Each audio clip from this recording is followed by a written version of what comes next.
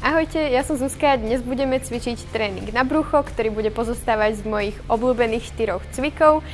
Tento tréning môžete cvičiť vo fitku, ale rovnako aj doma, pretože nebudete potrebovať žiadne špeciálne stroje.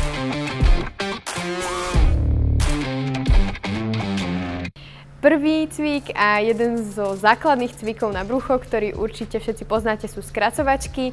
Pri tomto cviku nie je nejaká špeciálna technika, ale určite sa zamerajte na dýchanie, teda keď ste v hornej pozícii, tak vydychujete. No a keď sa vám budú zdať uh, tieto skracovačky už jednoduché, tak si ich môžete stiažiť napríklad zavažím, keď si chytíte činku do rúk. Pri tomto cviku je dôležité tempo, čiže sústrete sa na to, aby ste to opakovanie neodflakli, ale pekne pomaličky precítili. Nejde o to, aby ste spravili čo najviac tých opakovaní, ale aby ste naozaj to brucho zapojili. A opakovaní pôjdeme teda 3 série po 20 krát.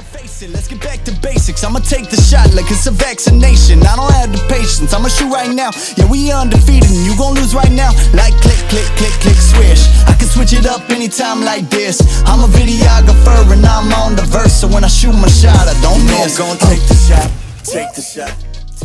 Takže druhý cvik uh, bude vytáčanie do strán. Tento cvik je zameraný viac na bočné svaly, no a môžete ho vykonávať aj s vlastnou váhou, kedy máte uh, ruky pred sebou a pomaličky ich vytáčate do strán, alebo keď vám je to um, jednoduché, tak pridáte váhu, chytíte si nejakú činku alebo kettlebell a idete opakovania so závažím. Dobre, takže tento cvik uh, začíname z pozície sedlahu a následne vytáčame ruky do strán. Dajte si pozor na to, aby ste sa príliš neponáhľali, choďte v takom prírodzenom tempe, aby to nebolo príliš rýchlo ani príliš pomaly, eh, aby ste naozaj precítili to brucho a dýchajte pravidelne. Eh, takže tento cvik eh, sa okrem toho, že si pridáte teda váhu, dá stiažiť aj tým, že zdvihnete nohy, kedy to brucho naozaj oveľa viac budete cítiť. No a čo sa týka opakovaní, tak pôjdeme 3 série po 16 opakovaní, teda na každú stranu 8. Yeah, kid noon, I've been shooting my shot, ooh.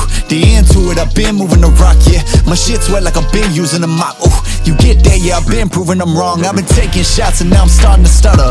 Vision getting blurry, I should check my shutter. I'm the cameraman, I need my camera madam Shoot my shot Ďalší, teda tretí cvik je horolezec. Tento cvik je dynamický cvik.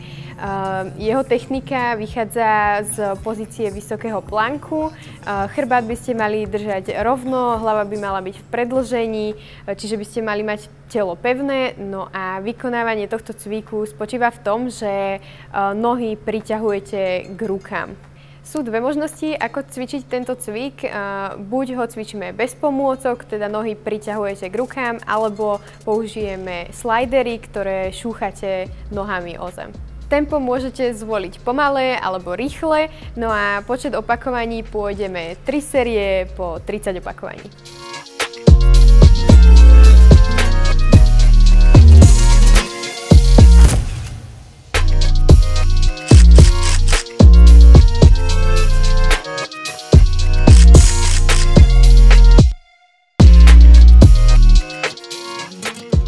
Posledný, teda štvrtý cvik, pôjdeme plank. Môžeme ho robiť na rôzne spôsoby, napríklad uh, nízky, vysoký alebo aj plank bočný. Uh, bočný plank je viac zameraný teda na bočné svaly, no a čo sa týka techniky, tak držte telo pevné, nezabudnite podsadiť panvu a krk držať v predlžení s chrbtom.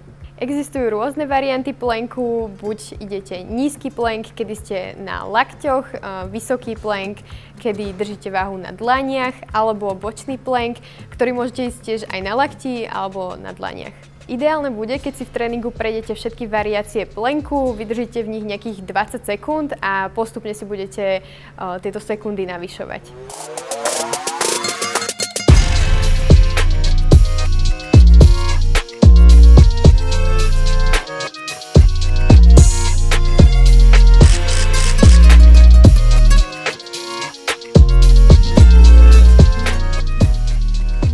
Boli moje 4 obľúbené cviky na brucho. Uh, taktiež nezabúdajte na to, že brucho nie je len o cvičení, ale aj o strave.